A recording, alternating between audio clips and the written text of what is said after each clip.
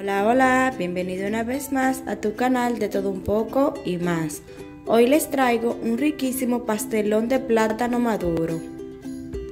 Esta receta a mí me encanta porque es muy fácil de hacer y a la vez deliciosa. Así que te invito a que te quedes conmigo y vea cómo la hago. Y estos son los ingredientes que estaremos utilizando para nuestra receta.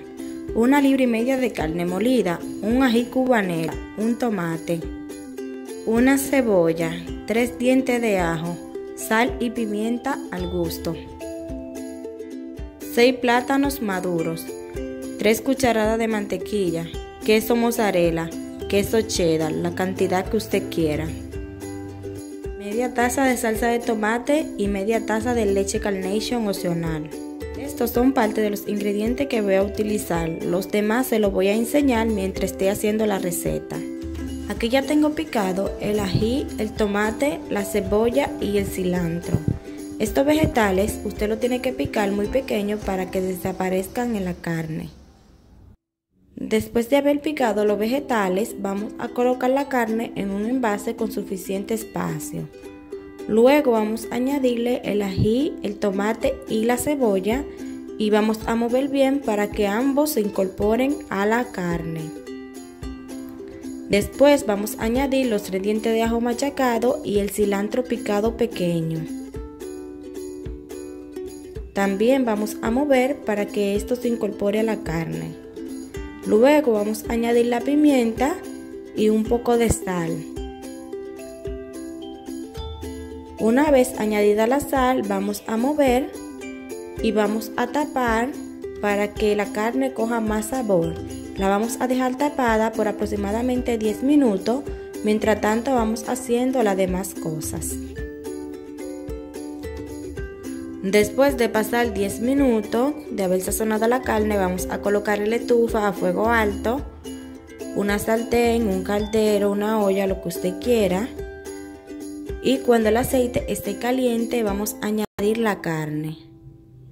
Después de añadir la carne, vamos a mover para asegurarnos de que no se nos esté pegando en el fondo y también vamos a dar toquecito con la cuchara para desbaratar cualquier tipo de grumos. Luego vamos a poner el fuego a medio y vamos a tapar. Vamos a dejar cocinar por 5 a 10 minutos. Una vez que la carne comience a cocinarse, vamos a ir destapando de vez en cuando y dando toques con la cuchara para desbaratar cualquier tipo de grumos y también asegurarnos de que no se esté pegando en el fondo. La verdad que esta carne huele deliciosa. Estos vegetales de verdad son muy importantes porque le da un sabor y un olor exquisito a la comida. Mientras la carne está cocinando, aproveché la oportunidad para pelar los plátanos. Le quiero mostrar cómo lo corté. Esto lo corté en cuatro porque los plátanos no me salieron tan maduros y así como lo corté se cocina más rápido. Después de haber pelado y cortado los plátanos vamos a colocar abundante agua en ellos y vamos a ponerlo en la estufa a fuego alto para que cocinen. Una vez esto comiencen a hervir vamos a añadirle un poco de sal. Recuerden no añadirle mucha porque el queso y la carne ya tienen sal y los plátanos son un poco dulces. Esto es solamente para hacer un contraste en el sabor. También vamos a aprovechar cuando la carne esté secando para añadirle la salsa. Luego de añadir la salsa, en el mismo envase donde vino la salsa vamos a colocar un poco de agua, vamos a mover bien y esta agua se la vamos a añadir a la carne. Vamos a mover un poco para que, para que la salsa se incorpore junto a la carne y coja color. Y lo vamos a dejar que cocine a fuego medio hasta que ésta seque. También vamos a probar la sal y si le hace falta vamos a añadirle un poquito más. Ya los plátanos están listos. Ahora lo que vamos a hacer es que le vamos a retirar el agua y luego vamos a machacar hasta convertirlo en un puré suave y sin grumos. Ahora vamos a colocar una sartén y vamos a colocarle la media taza de leche Carnation junto con las 3 cucharadas de mantequilla. Este paso a mí me gusta y es uno de los trucos que yo utilizo cuando hago pastelón. La leche Carnation usted se la puede añadir, es opcional, pero yo se la añado porque esta le da una textura más suave a los plátanos y también permite que estos se, mantengan suaves y no se pongan duros. A la vez también los plátanos quedan más cremosos. Luego de que la mantequilla se bata junto con la leche, vamos a añadirla a los plátanos y vamos a mover bien.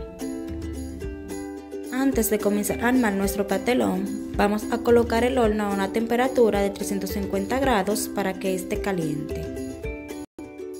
Ya la carne está lista. Antes de retirarla del fuego debemos asegurarnos de que ésta no tenga agua porque se nos puede arruinar la textura del pastelón, o sea, no puede quedar muy aguado. Para engrasar el molde estaré utilizando este spray de aceite de oliva. Si usted no cuenta con uno de este, puede engrasar su molde con un poco de mantequilla o un poco de aceite de oliva. Primero vamos a comenzar con una capa de plátano maduro y lo vamos a esparcir bien por todo el molde hasta que quede totalmente cubierto. Luego vamos a añadir una capa de carne. También vamos a esparcirla bien para que quede cubierto todo el molde. Después vamos a añadirle el queso mozzarella y el queso cheddar, la cantidad que usted quiera. Y así vamos a continuar hasta terminar con todos los ingredientes. Ya nuestro pastelón está totalmente armado.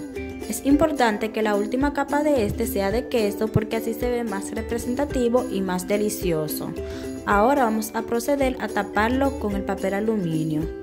También es importante que cuando tapemos nuestro pastelón, el papel aluminio no quede pegado junto al queso. Para esto vamos a hacer la prueba con nuestras manos y también vamos a tapar el pastelón que quede con un poquito de aire, así el queso no se nos desperdicia y no se pega tanto al papel aluminio. Y ahora vamos a poner nuestro pastelón al horno por un periodo de 20 a 25 minutos. Yo les recomiendo ponerlo en la parrilla de arriba porque se cocina más sabroso y no se nos quema. Una vez pasado 15 minutos vamos a sacar nuestro pastelón del horno y vamos a retirarle el papel aluminio para que esté dore. Miren qué delicioso se ve nuestro pastelón. Vamos a colocarlo nuevamente al horno por un periodo de 10 minutos o hasta que usted quiera. Esto va a variar según qué tan dorado usted quiera su pastelón. Este es el papel aluminio que le retiré al pastelón. Se lo quería mostrar para que ustedes vieran que no se le pegó el queso como les dije anteriormente cuando lo tapamos. Ya mi pastelón está listo, así de dorado era que yo lo quería. Miren qué sabroso se ve este pastelón y huele delicioso. Ya serví una parte del pastelón, pero le quería mostrar el fondo. Por esto es importante que engrasemos bien nuestro molde para que no se nos pegue y a la hora de servir no se nos haga más difícil. Y esta fue mi receta en el día de hoy. Si te gustó este video no olvides darle like y suscribirte a mi canal. Hasta la próxima.